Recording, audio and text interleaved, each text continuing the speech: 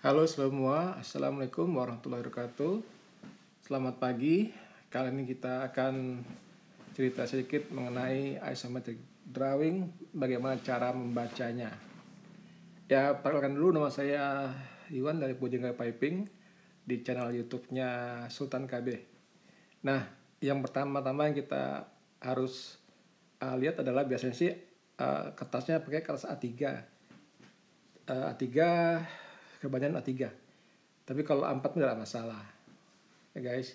Dan juga kita harus perhatikan dulu kita harus memahami dulu simbol-simbol yang dipakai pada piping isometric drawing. Jadi kita dari situ kita membacanya. Jadi kalau kita ingin jadi kita baca dulu legend. Dan pada saat kita mereview sebuah drawing kita juga harus merepair kepada apa kepada piping plan layout, piping plan section ataupun piping plan yang berhubungan dengan apa dengan uh, size isometrik tersebut. Biasanya nanti dipecah-pecah itu di spool by spool gitu. Jadi uh, pertama kita lihat uh, biasanya di dalam satu isometrik itu ada juga termasuk bill of material, uh, terus revisinya berapa dan juga nah perusahaan nomor drawing dan juga uh, drawing ke mana gitu. Jadi semua ada di sini dan di, anda bisa lihat pada apa pada basement drawing ini sebelah kiri sebelah kanan kita list of material yang ada pada piping isometrik ini.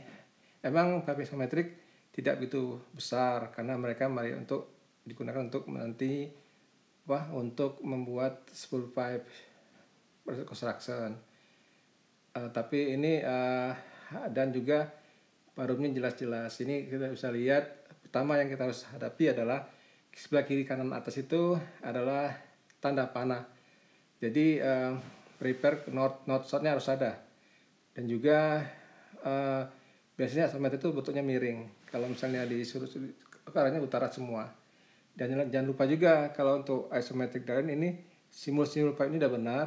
Juga ada simbol weldingnya dan juga arah apa arah panah di mana kita mengarahkan uh, aluran apa aliran air yang, yang air dalam fluida dalamnya itu. Jadi semua harus lengkap seperti ini. Uh, ada check valve-nya ada knot short-nya juga ada flange to flange. Nah itu nanti kita akan repair ke dalam build material misalnya jumlah botnya berapa jumlah gasketnya berapa dan juga ilmunya berapa. Nanti kita lanjut lagi guys ya. Oke okay guys. See you next time. Bye